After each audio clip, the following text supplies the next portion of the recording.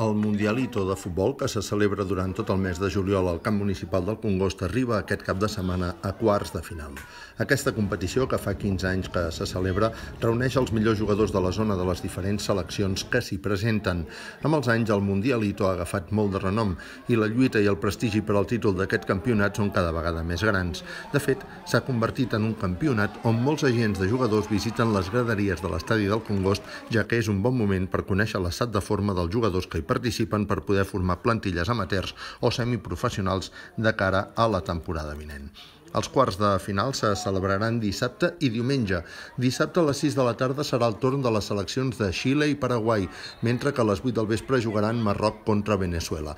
Diumenge seguirà la competició absoluta amb dos partits molt interessants, el que jugaran a les 6 de la tarda Bèlgica i Argentina i a les 8 del vespre Colòmbia-Brasil. Durant el cap de setmana també es disputen els partits de veterans i equips femenins.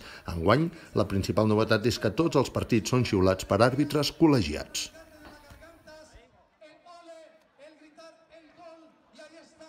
sale Bonini.